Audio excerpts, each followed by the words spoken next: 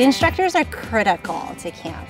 They help create an environment where the campers feel safe, where they feel heard, they're open to exploring their interests and materials.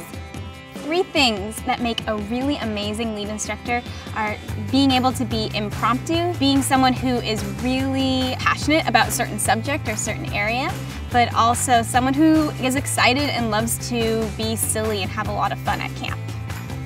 Going into Galileo Learning, you don't necessarily have to be going down the traditional education pathway.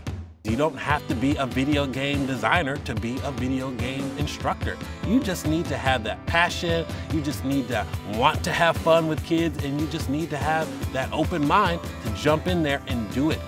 A day in the life of a lead instructor can vary, but their main focus is to work on the classroom, to make certain all the materials are there for campers to use, that your team leaders know how to best support you in the classroom, but then also just being a part of camp, wearing silly costumes and bringing the energy, bringing the pie every day, just being excited to be there.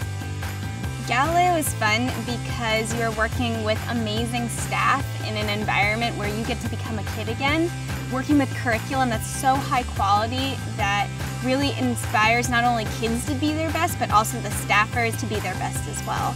It gives you this confidence going through Galileo. And it's not an unwarranted confidence, it's like a real confidence from an experience, a transformative experience. It's really, really great to see.